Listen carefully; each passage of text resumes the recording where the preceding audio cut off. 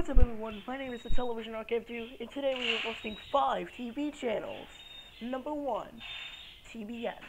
TBS used to comedy, but now you're showing every Marvel movie ever made. Number 2, same with TNT. Number 3, Showtime. I know you're about to be shut down, but why did your other channels use their legacy rating bug? It's so weird. Number 4, FX. FX, bruh why are you like like I, I know you provide great movies, but I mean why you in Disney films? And finally, Disney Channel.